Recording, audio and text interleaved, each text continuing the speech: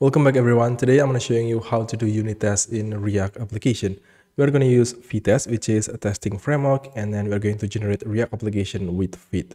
So this is basically the like a template that we are going to testing out.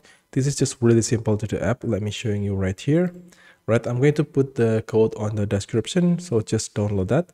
As you can see right here, just really simple. I'm going to open the app.tsx. As you can see, this is just uh, some heading one and then a div and then just to-do list right here.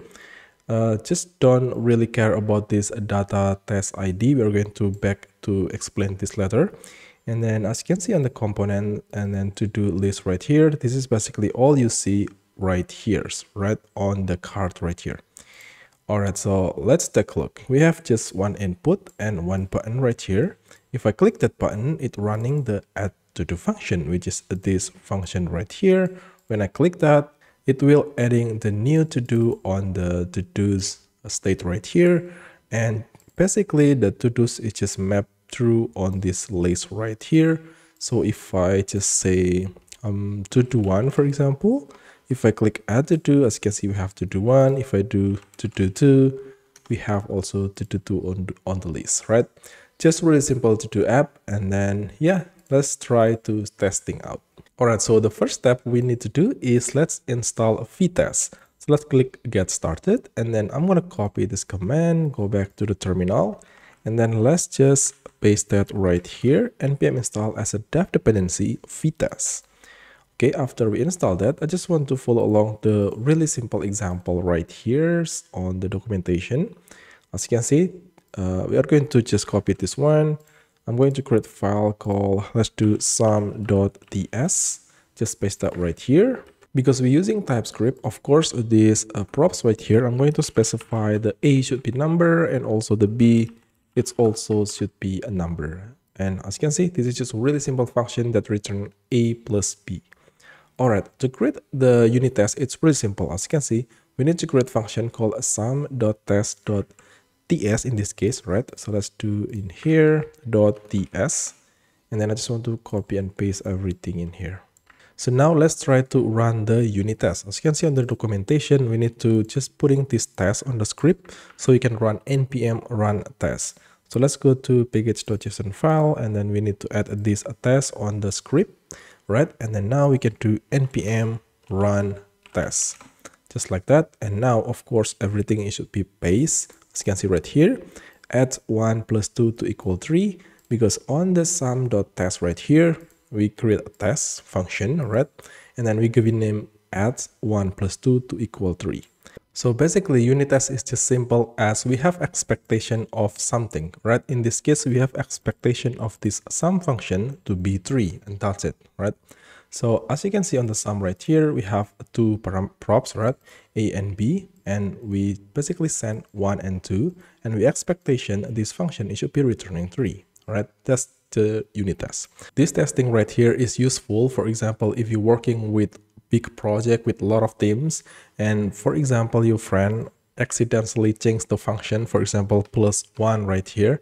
And then when your friend save the code of course he will get this failed error right? Because we have expectation this function is it should be returning 3 that's the beauty about unit test so now let's working with the uh, to do app because it's kind of like different if you want to just testing really simple function like this with you testing React application because we need to have kind of like a DOM element, something like that.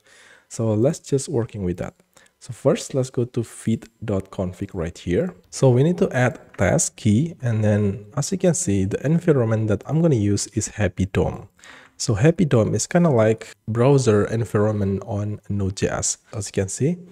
This is just a JavaScript implementation of the web browser, right? With, without a graphic user interface, just kind of like a browser on the Node.js. All right, and also that's the environment we are going to use.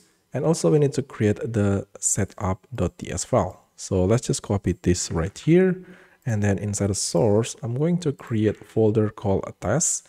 And then inside that, I create setup.ts.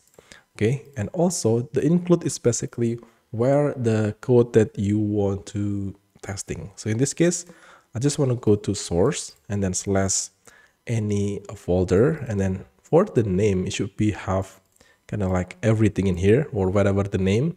And then it should be have test or spec. And then the extension the extension it should be .ts or .tsx okay great that's for the vite.config so now let's move to the setup right here. So on the setup basically uh, we just running after each cleanup. This is basically will run after the testing done right? So each testing will just clean up with this function right here.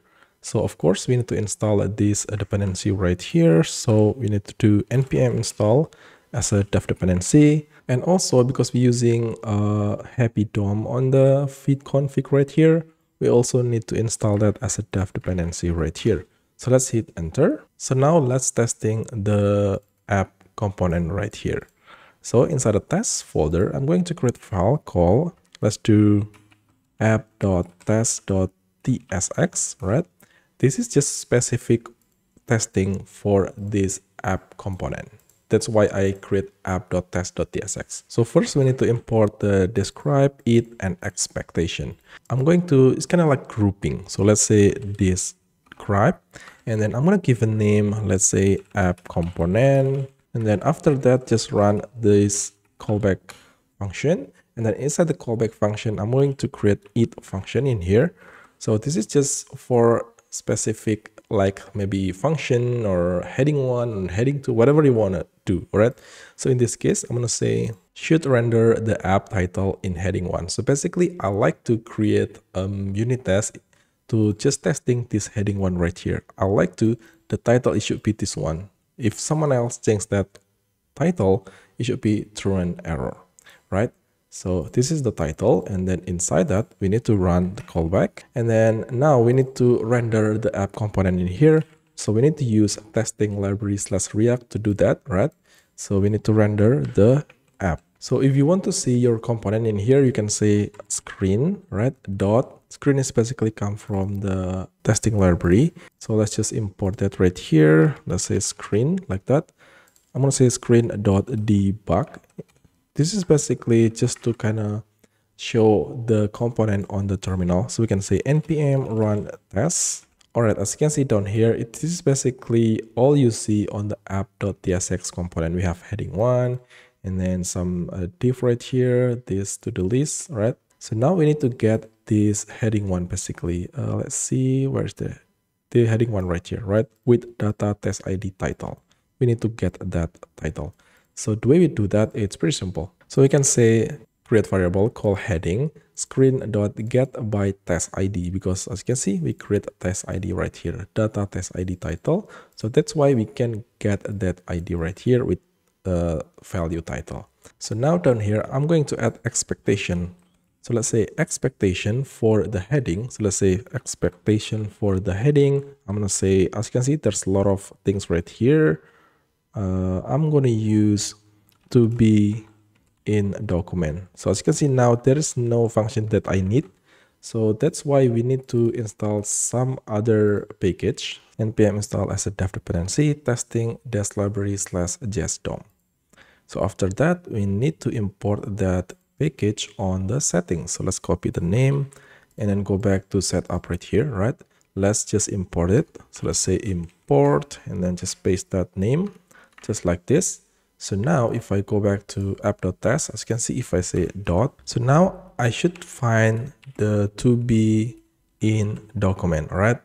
So let's just do that. And also I have another expectation in here. I want to make sure the heading it should be half text content this string right here, right? The text it should be React testing demo. So let's try to do npm run test. It say expect is not defined Alright, so the reason why we get this error because on the setup.ts right here, we need to specify, we need to import the JSDOM specific for the test, right? So now everything should be clean. Nice. So let's just close um, all the test package right here. So now as you can see on the terminal, should render the app title within heading 1 is space, right? If I change the title, for example, something else in here, let's say hello, if I save, now as you can see, we get an failed, right? The title, it should be matched with these rules right here, React testing demo. And also I'm going to make sure the heading it should be have a heading 1. So we can use expect heading tag name to be heading 1. If someone or you on the futures maybe change the heading 1 to use heading 2, of course now you get an error as you can see down here, expectation heading 1 but receive heading 2, right? Just as simple as that. Alright, so now let's testing our uh, to-do list right here. I'm gonna close the app. So now let's create file for testing to-do list component. So let's do to-do list.test.tsx. So again, in here, I'm going to import first the, let me open the example here. I'm going to import all the describe, eat, and expect from the Vitest. Let's do on the top right here and then uh, let's do i'm going to just copy everything here to make it simple right? So because we are going to create a lot of it right here to just testing for the specific function and etc i want to render the app right here on the top just still inside the describe uh, function but outside the it right?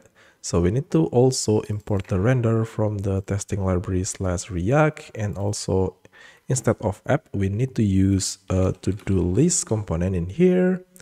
And also I'm going to change this to to-do list component like that. So first I'm going to set the title into should render the to-do list with initial empty state because in the first time, of course, the state it should be empty. When you refresh the browser, the state it should be empty, right? So we need to check that right here.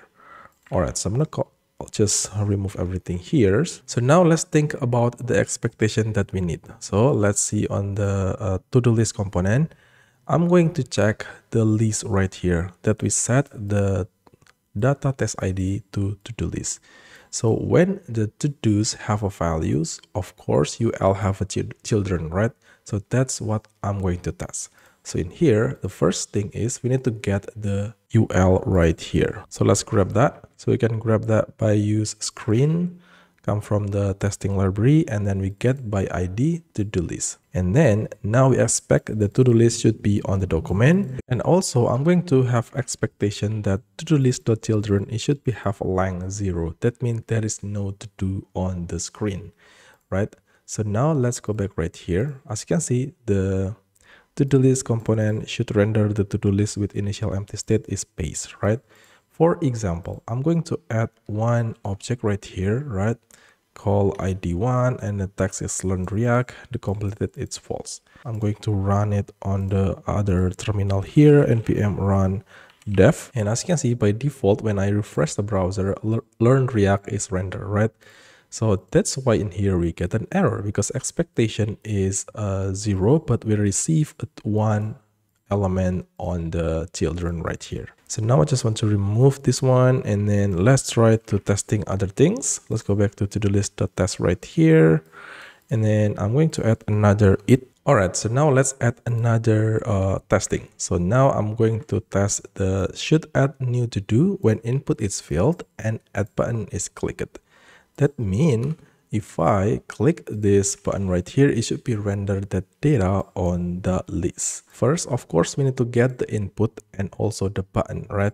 So let's see on the component right here, the input that have this data test to do input and also the button have data test add to do button. So anyway, the value here is whatever you want, right? So let's go back and I'm going to get that value, right? We get that input and we get the add button as well. So now we are going to use fire event in order to change something on the input field or click button or whatever on the browser, right? So in this case, I'm going to change the input value into the new to do item. This is the same like you typing on the input field like this, right? And also I'm going to click that add button right here using fire event dot click. Nice. I just want to paste this await right here, right? The wait for is going to become from the testing library because we're using await, of course, this function it should be async function like this. And then as you can see, this is basically will wait until we click the button, right? As you can see, I just get the to-do list again, like we're doing on the top right here. And then we just have expectation that the children, it should be one, right? Because we click the button right here of course we have new to do right here. And then just the to do is just one to do. And also down here, as you can see, I get the new to do item using the screen.getByText because new to do item it should be rendered down here right? It's just like down here. And then we get that value using get by text and then we just make sure that should be rendered on the document and then now we have expectation for the input it should be an empty right now as you can see the input is empty that's basically the flow when we add new to do i hope you're not confused right so now let's save that and hopefully now everything should be based, but we get an error right here. It say, uh, let me see what we get wrong. Basically, we cannot get the to do input. So let me take a look right here, um, what we're doing wrong, right? So I believe it's uh, get an error because the render is on the top right here. Okay, you can do like this. I believe it's going to be works. All right, but again also you can use uh, before it. I believe I'm going to just putting that right here before it's going to become from the test. and if I using this now it just works right as you can see down here everything is base nice all right so I think that's it guys for the unit test because there's a lot of topic when you want to learn unit tests for example coverage as you can see right here you can check the percent of the unit test on your code, right? The view is going to be like this. And also there's a Vitest UI. You can check the um, unit test on the browser, not on the terminal. And there's a lot of things, right? But I'm not going to cover all of that because that's need a lot of time and also need a lot of work to learn that. And I think that's it. As long as you understand what is unit test and why that's important. So I think that's it. So thank you so much for watching guys. See you on the next one.